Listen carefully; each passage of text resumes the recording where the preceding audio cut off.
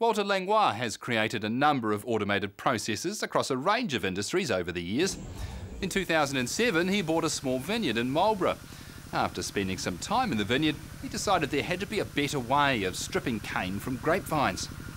I got down here in uh, May 2007 from Auckland and basically knowing nothing about the viticultural industry. Our first job on our very small vineyard, a five acre vineyard, was to, uh, to strip out the canes or prune for the next season. Um, my wife got some instruction on pruning and uh, asked me to go out and strip this material out. And uh, so I decided to, I thought that would be relatively easy. And uh, it worked out it was a lot harder than I thought. So I, I looked at it, uh, trying to devise a, a means whereby we could get them out. And for some reason, I went out into the vineyard with a ladder and started to try to pull them out from the top. And I found that they actually pulled out quite, quite easily uh, relative to trying to pulling them down. And with my experience in general industry, I know that a pinch wheel mechanism is very, very good and it's very hard. So I thought, well, let's try that. And basically that was the, the birth of the, of the idea.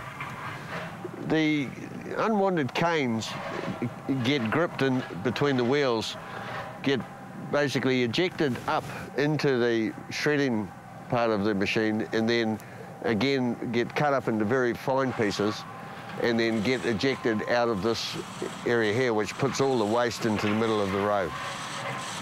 It's a very simple operation. So they're hydraulically driven on this particular machine, which is their new model for 2009. They're run by a separate power unit, which is off the rear PTO of the tractor. On last year's model, we ran them off the tractor hydraulics. So uh, you can have either or, depending on what you want. With the shredder, however, you have to run the uh, external power unit because of the uh, sheer volume of oil that it takes. So our tyre speed relative to um, ground speed um, was quite low.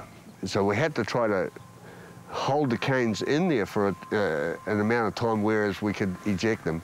And we found that the, the mid-wheel was really the key to it.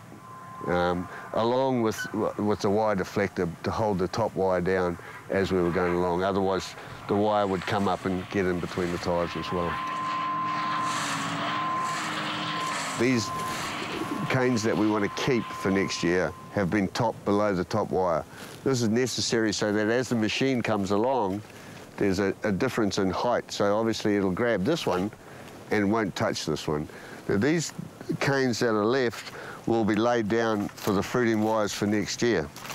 So they will come along and wrap that down onto the fruiting wire for next year, so like so and like so. I was talking to a contractor last night and he said to me that they've taken on half as much work again this season. I think they're pretty close to a million vines that they've been able to take on. He said to me that the costs were 30% down and the speed was 30% quicker. And their manpower has dropped by a quarter. So if you work the mass out and all of that, it's considerable. So they've been able to take on more with less staff and it's cheaper. So, I mean, that's pretty cool. The main attraction to us was it came along a couple of years ago when labour shortages were looming for the industry. Uh, we were really struggling to find enough people to actually do the job within the um, time frame of winter pruning. And uh, it's allowed us to free up the people that were doing the stripping to do other more technical tasks and taking quite a bit of the effort out of it as well.